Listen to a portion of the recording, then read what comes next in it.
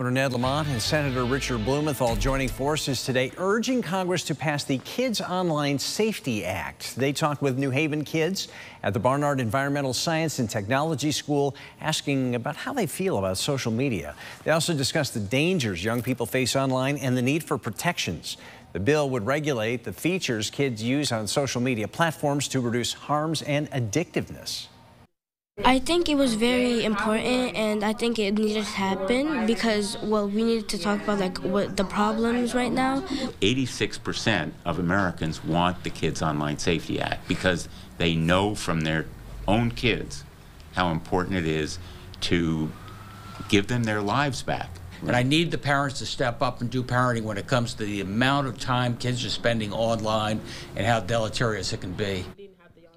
The Kids Online Safety Act overwhelmingly passed the U.S. Senate in July. Earlier this week, the bill passed through committee and now is advancing in the House.